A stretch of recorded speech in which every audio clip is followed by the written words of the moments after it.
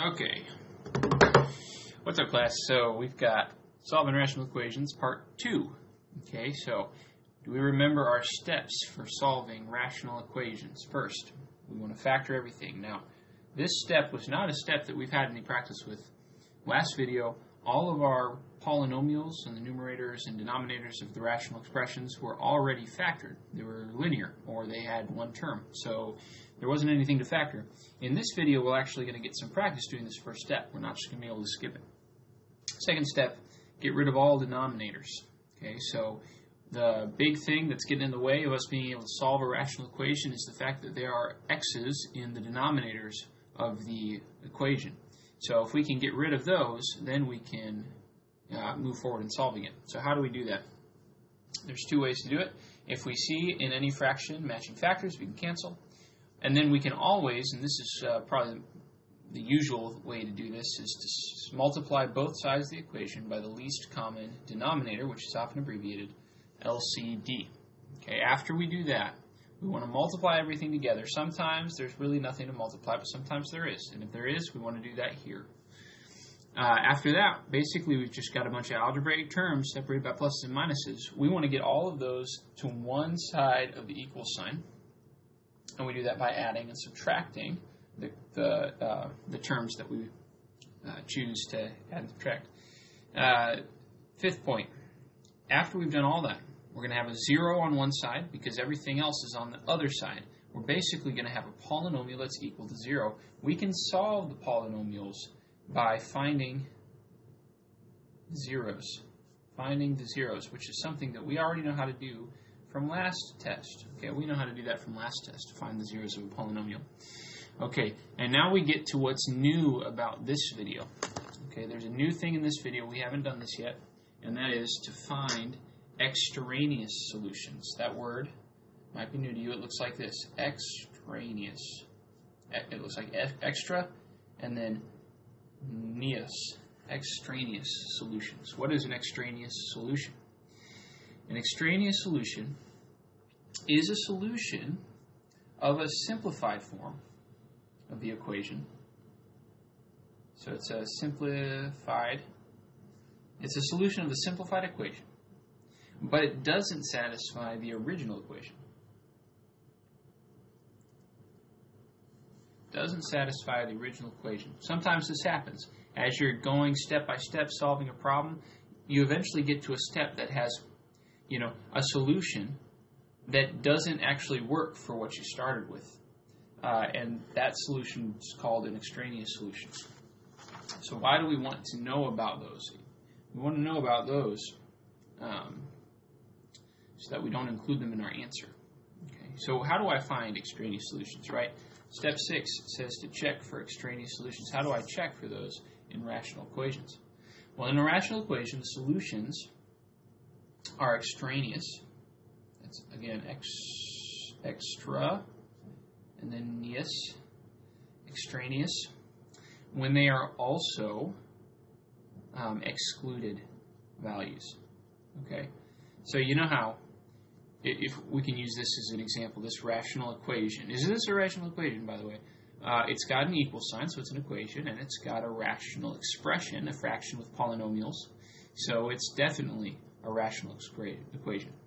Now, the it says that solutions are extraneous when they're also excluded values.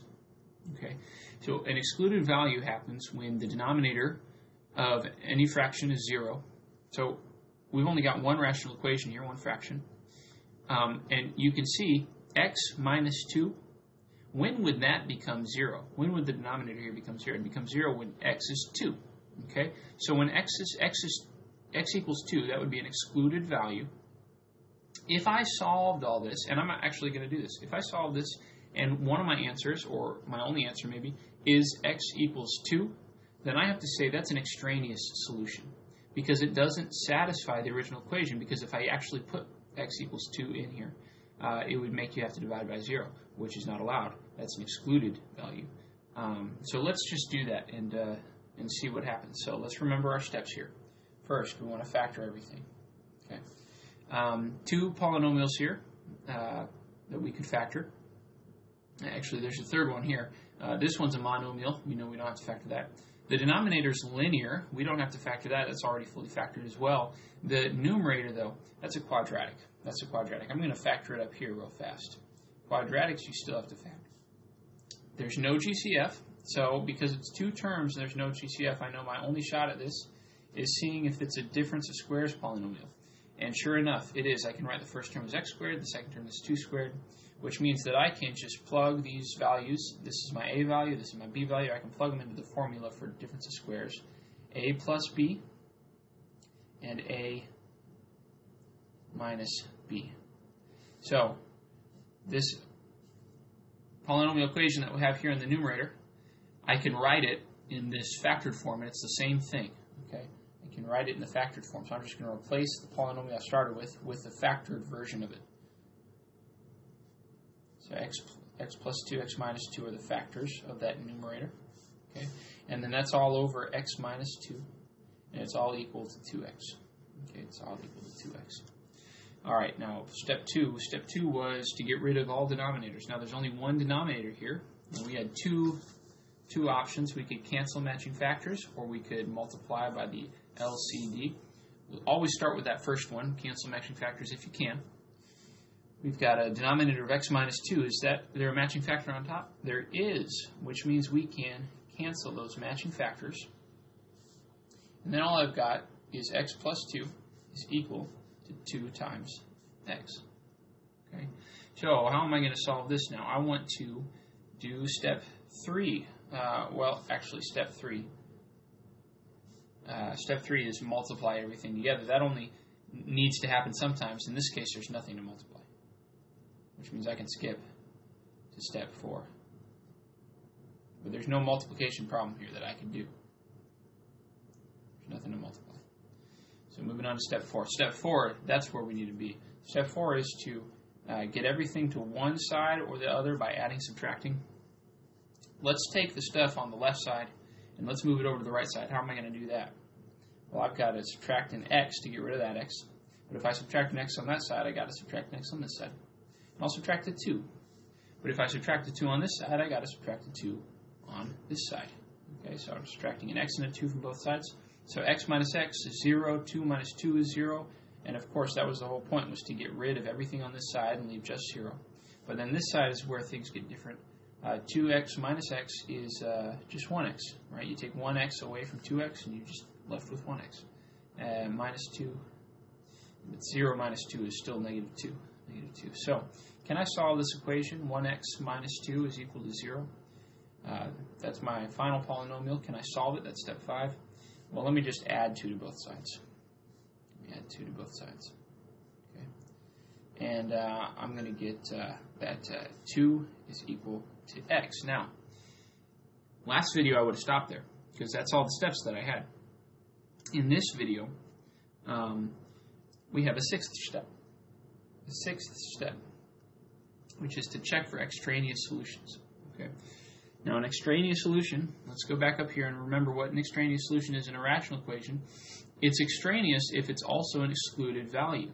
So when I say check for extraneous solutions, we're really checking for excluded values, okay? So, and we already, I, I kind of just verbally did this, but let's do it for real. Excluded values happens when the denominator is equal to zero. So there's my denominator, okay?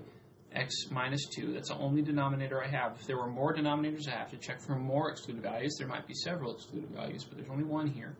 So I'm going to see what happens when that denominator is equal to 0. Whatever I get is going to be my excluded value. So I'm checking for excluded values right here. I'm checking for excluded values. I'm going to add 2 to both sides. And I've got that my excluded value is equal, is, is, is uh, x is equal to 2.